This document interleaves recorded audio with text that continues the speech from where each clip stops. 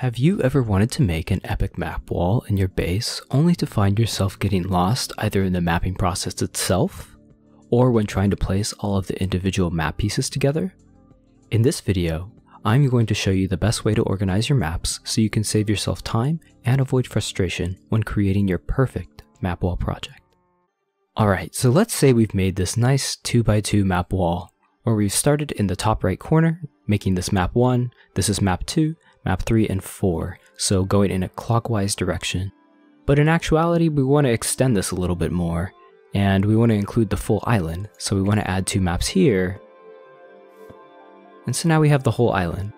But now our naming convention from the game is messed up, because now this is map 1, 2, 3, 4, this is 5 and 6. So one thing we could do is we could rename these maps such that we keep our clockwise order, so 1, 2, 3, 4, 5, 6. But the problem with this is that as we continue to extend this map and expand the map wall, this just makes it more and more complicated because now we have to keep renaming this and say if this is 4 by 4 now we have to do this zigzag pattern to map everything in a sequential manner and also remember the path order in which we made these maps. This information is thus required in order to place the maps in their proper orientation relative to one another.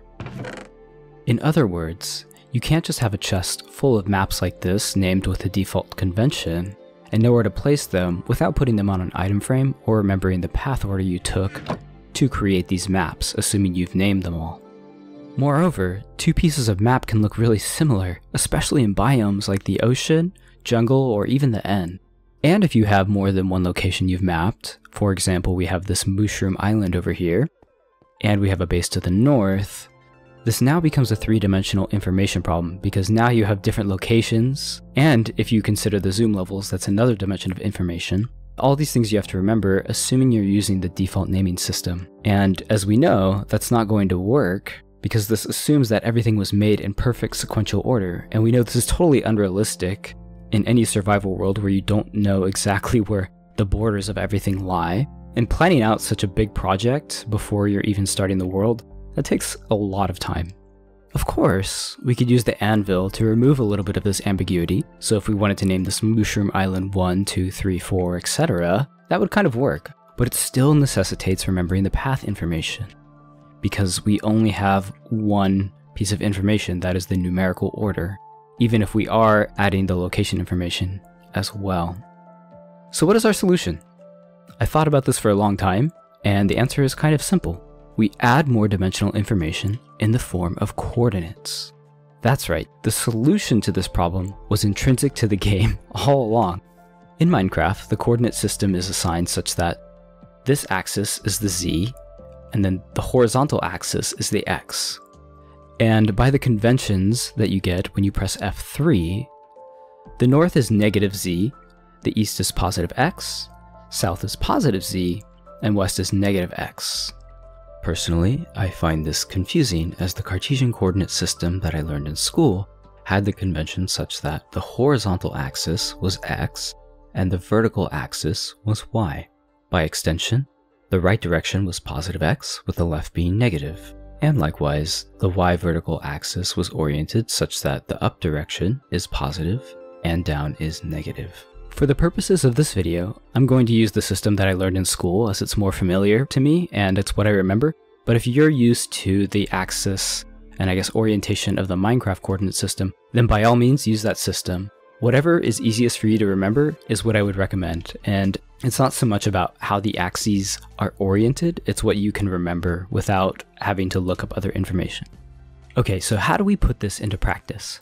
So let's say we denote the center of this map is right here, so that is 0, 0.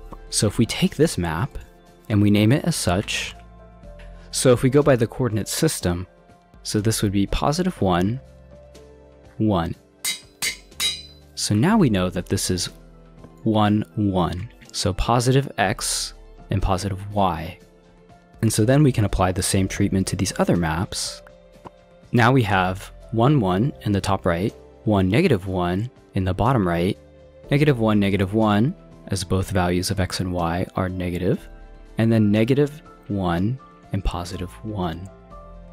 And so now the beauty of this system is that say we just like picked up these two map pieces from the chest. Okay, so this one, positive one, so go right one, and then negative two, one, two. That's it. Likewise for this one, negative one, negative two, right there. And so now rather than say, okay, I don't really remember the order of these maps, what you have now is a very simple way to organize them spatially within the chest as well. And just like that, we've organized the map in the right order as it would go there. Just to, I guess, prove this, center there, there, there, 1, negative 1, okay, so then that would be here, negative 1, negative 1, you get the idea, done. So while this seems like a lot of effort for a map this small, you can see that when you want to make a map wall, say the size of this monstrosity, it becomes a lot more clear and obvious what you need to do. So again, assigning this as the center, okay, 1, 1, 1, negative 2, down here, negative 1, 1, there, 1, negative 1, there, negative 1, negative 2, negative 1, 1. And right away, we have the correct order, just like that. And so when you're making a big map wall like this, it's really, really, really easy to get confused as to where things go. Like for example, I couldn't tell you if that's the right map or not because this doesn't look like it fits there, and so I've clearly made a mistake in this area here. But with this naming convention, what's really powerful is that say we go to this coordinate, okay, we know that this is here, and so we're trying to figure out where all of these maps are relative to each other.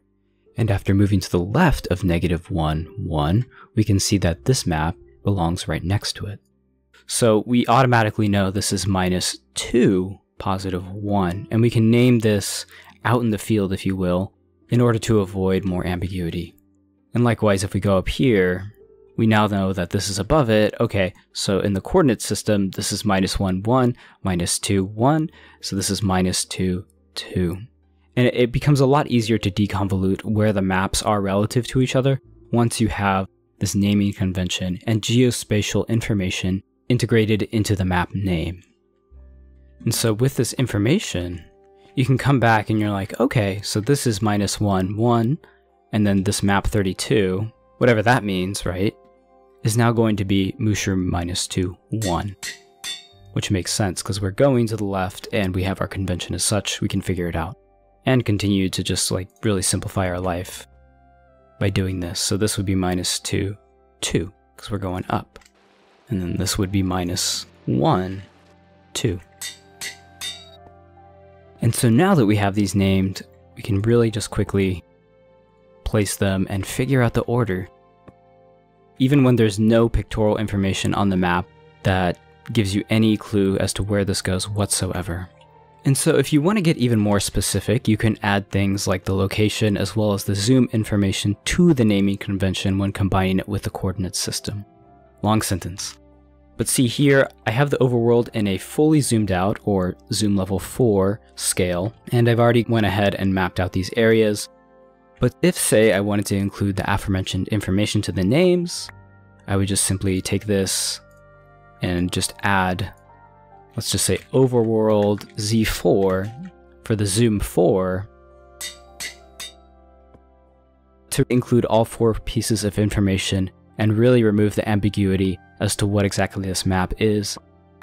Say if you're taking it out of a chest, for example.